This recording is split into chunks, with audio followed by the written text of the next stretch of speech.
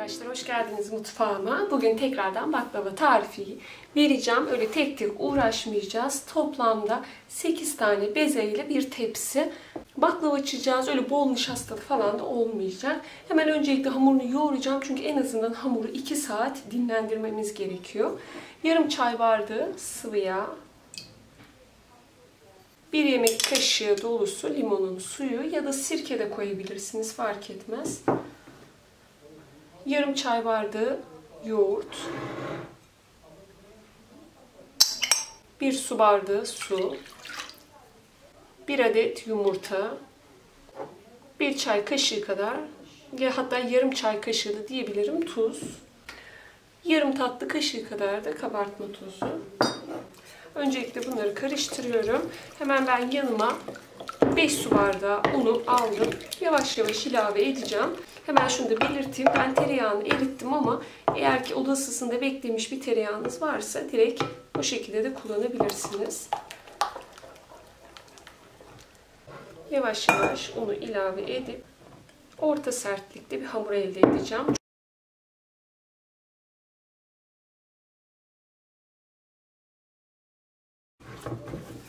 Hamuru biraz toparladıktan sonra tezgahın üzerine alıyorum. Ara ara un serpip hamurumu 5 dakika boyunca yoğuruyorum. Hamurunuzu yoğurma aşaması çok önemli. Lütfen en azından hamuru 5 dakika toparlayın.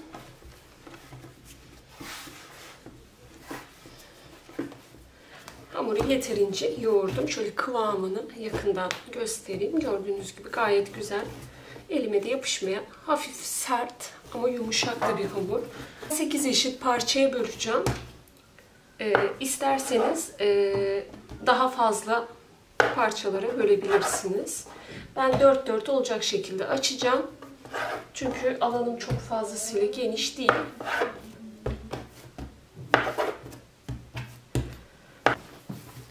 Yuvarlak bezeler haline getiriyorum.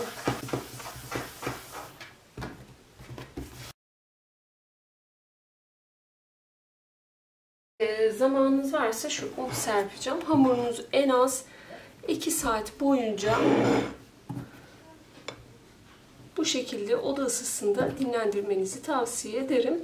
E, bu havanın sıcaklığına göre de değişebilir. Bu mevsimlerde dışarıda durabilir. Üzerlerine de hafif un serpiyorum. Üzerine streç filmle sarıp dinlendiriyorum.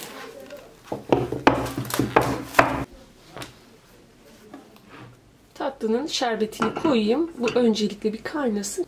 Evimizdeki klasik bardaklarla 4,5 su bardağı işte toz şeker ilave ediyorum.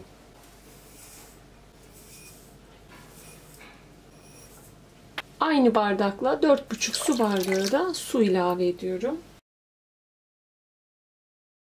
Küçük bir dilim de limon atıyorum içerisine. Altını orta ateşe getirdim. Şeker eriyene kadar sürekli karıştıracağım. Eridikten sonra altını kısa alıp tam 25 dakika boyunca 20-25 dakika boyunca kaynatacağım.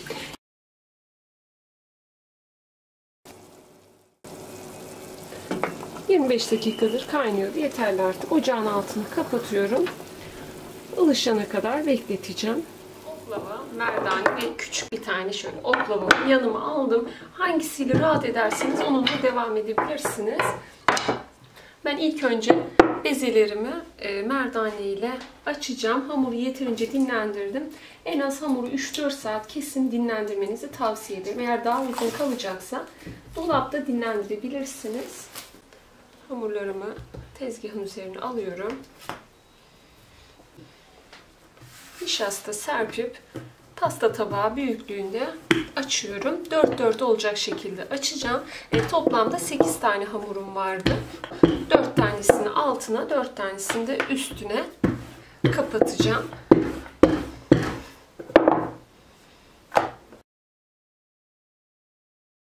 Çok rahatlıkla açılıyor hamur gördüğünüz gibi. Birkaç harekette bile çok rahat. Bu aşamada nişastayı birazcık bol kullanıyoruz ve daha sonrasında bir daha nişasta kullanmayacağız. Kenara alıyorum. Diğer hamuru da aynı şekilde açacağım.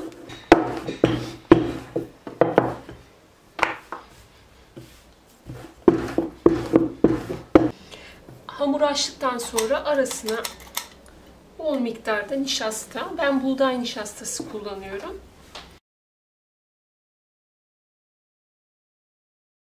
Üzerine kapatıyorum.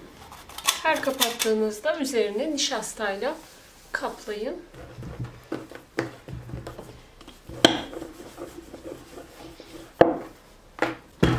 Açarken çok aşırı derecede nişasta dökmüyorum.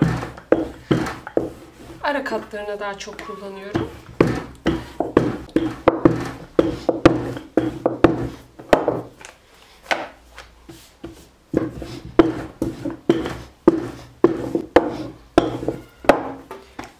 Yeterli.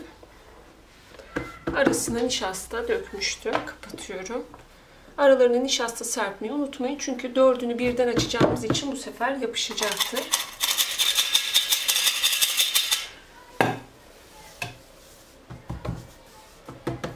Sonuncu hamuru da açıyorum.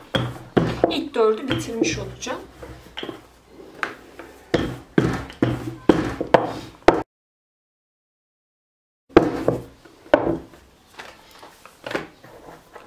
Sonuncu hamuru da açtım. Çok hızlı ve gerçekten çok güzel açılıyor hamur. Ne kadar çok dinlendirirseniz hamurunuz o kadar güzel açılacaktır.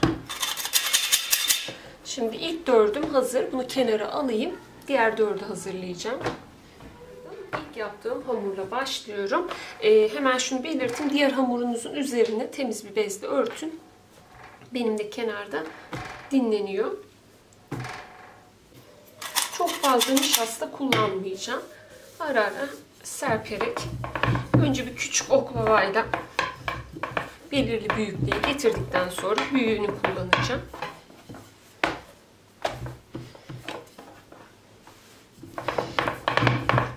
Merdane ile daha rahat olacak. Öbürü biraz beni zorladı. Öncelikle şöyle bir 50-60 santim çapına getireyim. Bundan sonra açılabildiği kadar açacağım. Eğer alanınız varsa daha rahat olacaktır. Benim çok fazla alanım olmadığı için çok açamayacağım gibi gözüküyor. Çünkü hamur açılmaya müsait. Arada böyle ters çevirin ki arkadaki hamurda küçük kalmasın. Bu da açılsın.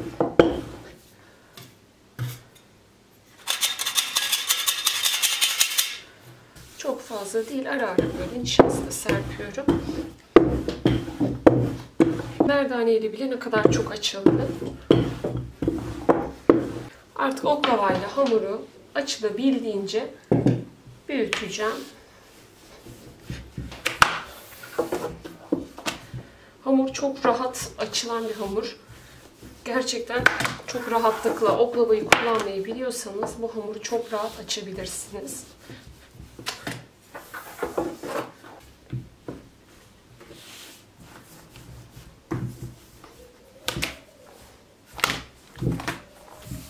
Hamuru yeterince açtım. Daha fazla aç, açılacak ama alanım yok maalesef. Şöyle göstereyim inceliğini de. Gördüğünüz gibi hatta katları tek tek de ayrılıyor. Bu en üstteki ne kadar açsam da kendi e, böyle birleştiremedim. Üzerine sereceğim şöyle. Normal standart bir tepsinizi kullanabilirsiniz. Tepsiyi ortaya oturtturuyorum. Kenarlarından tam tepsinin ölçüsünde kesiyorum.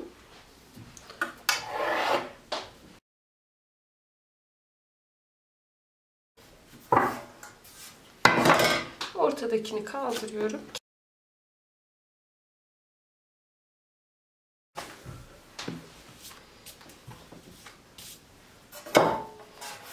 Tekrar şöyle tepsi oturtturayım. Kenarlarını keseyim.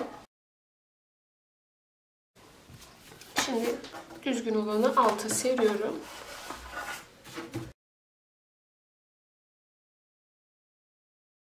de şöyle aralara üstüne kapatıyorum uygun bir şekilde.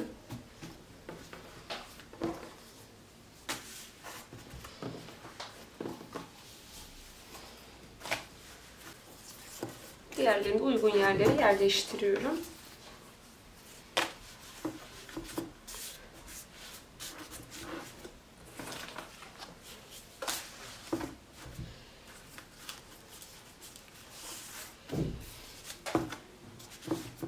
Ara katına cevizi serpiyorum. Tamamen cevizi arzu ettiğiniz kadar kullanabilirsiniz. Benim toplamda cevizim 250 gram anca.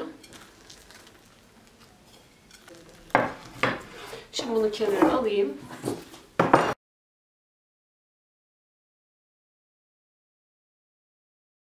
Bunu olabildiğince genişçe açtım. Gene tepsiyi ortaya oturtturuyorum. Kenarlardan kesiyorum. Ortadaki hamuru alacağım. Bunu en üstüne kapatacağım. Daha düzgün olması için. Tekrar oturtturuyorum.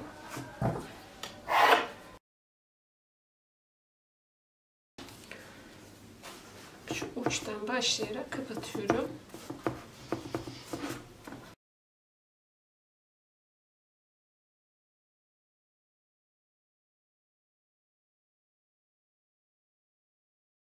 En üstte de en düzgün olanı serip baklavayı bitiriyorum.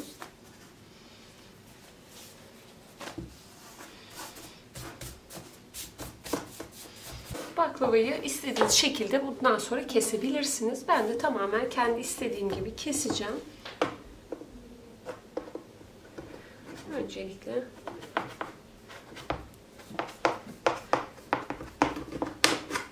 Hatta böyle cetvel kullanabilirsiniz daha düzgün kesmesi için.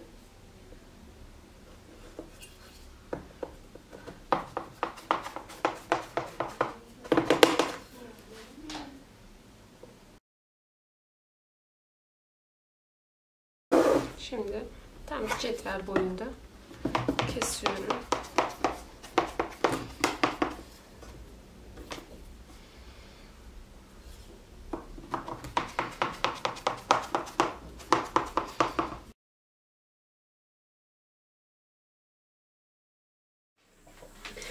...250 gram tereyağını erittim. Ee, iyice böyle üzerindeki beyaz kaymakları aldım. Süzebilirsiniz. Bir tülbentle süzerseniz çok güzel süzülüyor. Şimdi eşit bir şekilde üzerine döküyorum. E, kaşıkla dökerseniz böyle daha az az her yerine yedirebilirsiniz.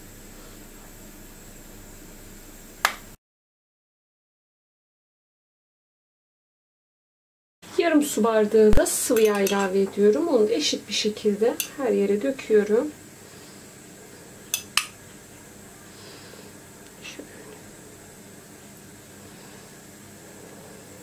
180 derecelik fırına götürüyorum. Çok yavaş yavaş en az bir saat boyunca fırında pişirmeye dikkat edin. Sizin eğer fırınınız 180 dereceyi çok aşırı derecede yüksek bir ayarsa 170'e kadar düşürebilirsiniz. En azından bir saat boyunca baklavanızın iyice içini çeke çeke pişirmeniz gerekiyor.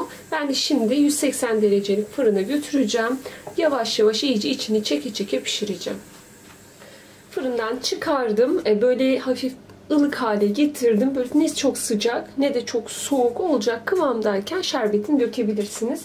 Şerbeti de aynı şekilde ılıkken ben genelde hep böyle e, ikisi de ılıkken döküyorum arkadaşlar. Kimisi böyle kaynarken döküyor. Hep böyle alıştım. Bu şekilde gidiyor ama sizler de tabii ki bildiğiniz gibi de yapabilirsiniz. Eşit olacak şekilde döküyorum. Tam üzerlerine gelsin.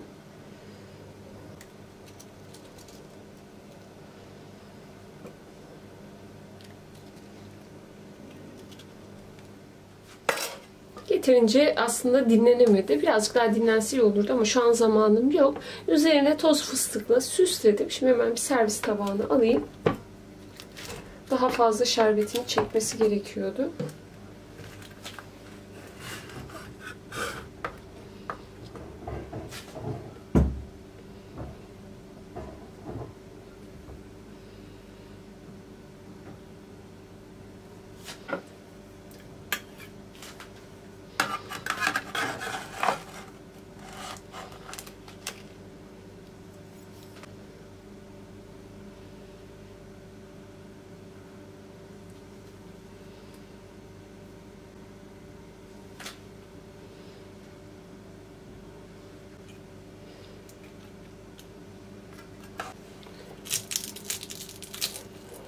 Çıtır çıtır bir baklava oldu. Bunu böyle bölmek birazcık zor. Genelde baklavaların birçoğu zaten bölünmüyor arkadaşlar. Öyle elinize alıp çıtır çıtır yiyeceksiniz. Şu bıçakla keseceğim.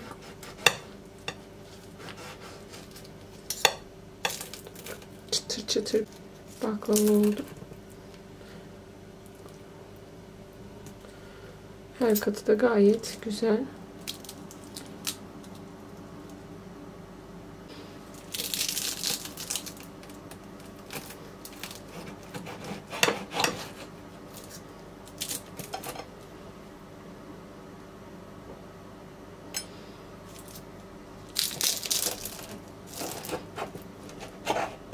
Biraz fazla dağıttım. Kusuruma bakmayın lütfen. Sizlere böyle ayrıntılı ayrıntılı göstermek istedim. Umarım sizler de denedikten sonra memnun kalırsınız. Eğer kanalıma abone değilseniz bu videodan sonra abone olabilirsiniz. Bir dahaki videolarda görüşmek üzere. Hoşçakalın.